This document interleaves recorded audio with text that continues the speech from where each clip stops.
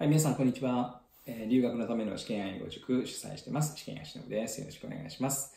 今回はですね、あの、えっ、ー、と、オンラインの英会話ね、あの、これをやっている方結構いらっしゃると思うんですけど、まあ、一般的にね、あの、英語をやるということで、あの、いうことなんですけど、そこの中に TOEFL が絡んできた場合、あの、これをどのようにこう、有効利用できるのかという観点からね、あの、ちょっと、あの、まあ、少しアイディアが、あの、なくはないんで、ちょっと、えー、シェアしてみようかなと思います。でですね、あの、オンライン英会話使うときには、あの、相手がね、まあ、先生いるんで、この先生の気持ちってわかります？あの、えっと、先生ってとにかくシーンとしてしまうことが怖いんですよ。あの、例えば、What do you think? とか振るじゃないですか、先生が。で、相手がシーンとなった時に、来た、ああ、とかいう感じになるんですね。だから、あの、あの、一番、あの、先生を喜ばせるという意味でもですね、あの、大事なのは、まずは自ら質問を振るっていうことなんですね。で、これで質問を振ることで、あの、何、自ら主導権を取れるんですね。自分がやってほしい、あの、お題とか、そういうのに、あの、えっと、なんだ、あの、お話をすることができるんですね。あの、で、質問を振ってくれると先生どんだけ嬉しいかっていう話なんですよ。あの、本当に、えー、たい、あの、楽ですよ。で、えっと、それが一つ。で、それからですね、あの、もう一つは、あの、質問をする、まあ、前でも後でもいいんですけど、に、あの、その質問の背景とかを、あの、しばらく語るっていうことなんですね。あの、意外と大事なんですよ。えー、例えばですね、えっと、まあ、ハローハローとかってね、まあ、挨拶終わりますよね。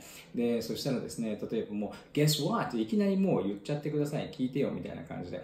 guess what? On my way to work this morning, I saw a group of, uh, group of businessmen and women gathering in a park, in a parking lot, in a parking lot, and they're smoking. I know they're taking a break, but you know, it was not pleasant at all.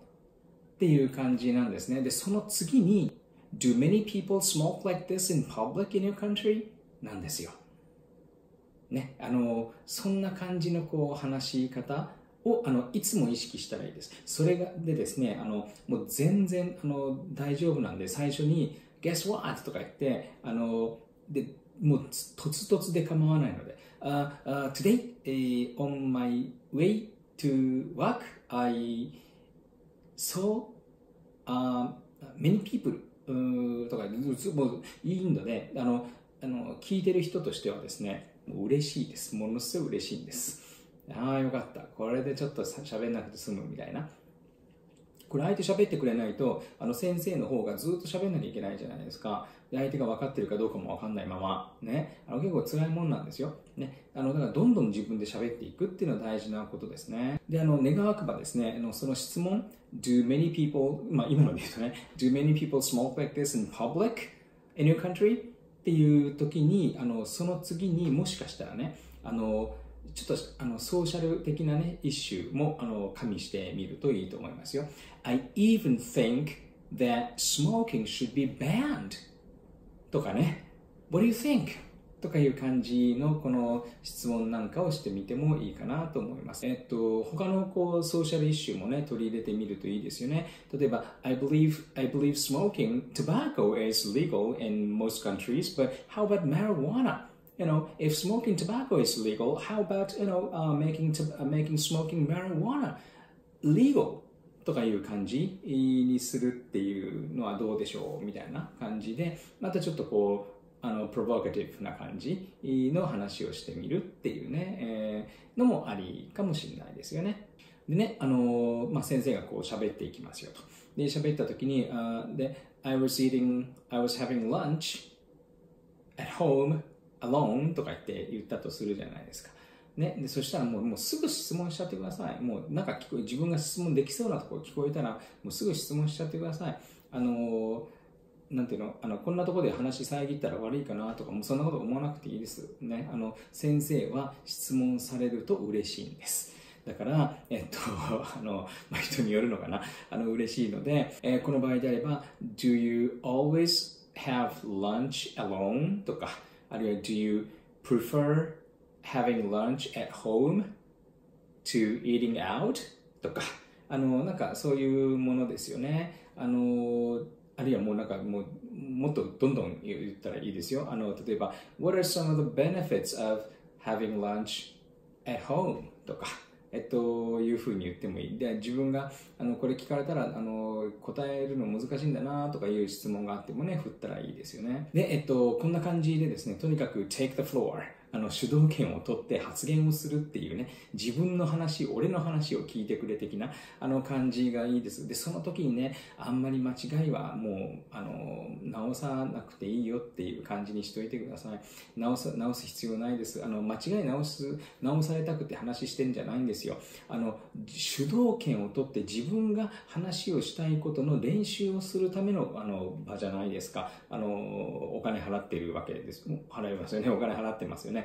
だからあのそういう場なのであの自分が主導権を取っていくっていう練習しとくといいですよ。あのそしたらあの実際に主導権取らなきゃいけない時も取る練習もできてるしあのそもそも自分が喋る練習してますよね。でこのねあの一人話じゃなくてあのね It's not like talking to yourself じゃなくてあの相手がいるじゃないですか。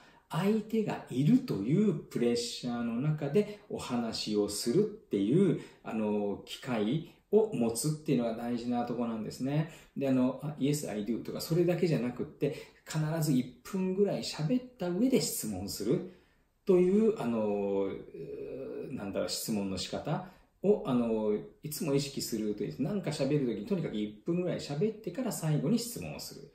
っていう感じなんですね。あの、これを、あの、いつもやっていくと、これぐらいが1分なの、これぐらいが1分っていう感じの、あの、時間感覚も養えるしね、あの、なかなかいいと思いますよ。あの、ちょまとめると、えっと、主導権を取る。そのために質問をする。で、その背景を1分ぐらいは必ず喋る。ね、えっと、それから、あの、どんどんどんどんソーシャル的なね、また、あの、別に専門的なこともどんどん入れていくっていう、そういう、あの、アティチュードで臨んでいくと結構あの相手の先生も喜ぶはずだし自分のためにもなるという感じでウィンウィンですよね。あの非常にいい使い方ではないかな。で、そのネタを探すのにあの勉強の時にもこれは今度言おうとかあの思っといて、ちょっと1分ぐらいのね、場合によっては台本作ってみるとか、あの、いう風にして、あの、使っていくと、あの、結構、あの、いい感じで回っていくんじゃないかな、